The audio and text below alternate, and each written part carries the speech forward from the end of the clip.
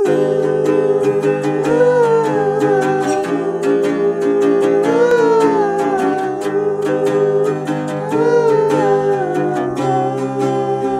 a little story.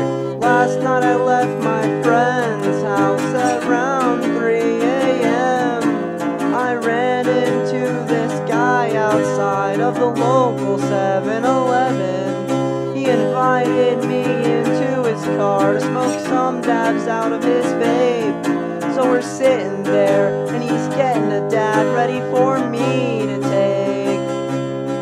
And all of a sudden he stops and he says, Hey, have you ever tried heroin?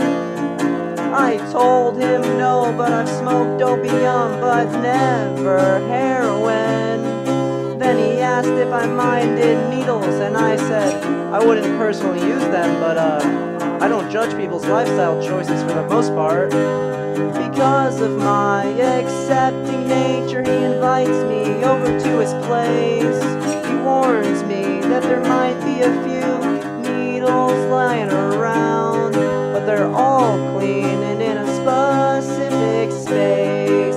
I was still pretty drunk at this point, so I went along with it. Why would I give a shit?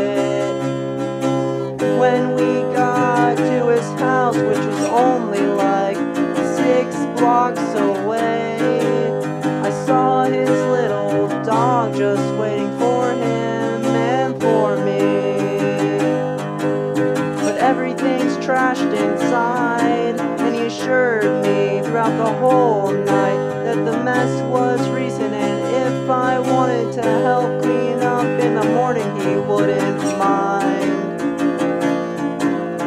Then we climbed up to his room. Using